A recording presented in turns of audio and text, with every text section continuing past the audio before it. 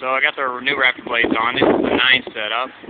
Boy, they are getting it. That turbine is only about 15 foot off the ground.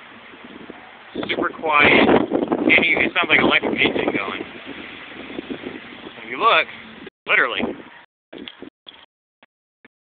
it's on the pole of my F-250 so I can get on the roof, and it is just moving. Actually starting to slow down a little bit now where you'll be able to see it. It's coming down.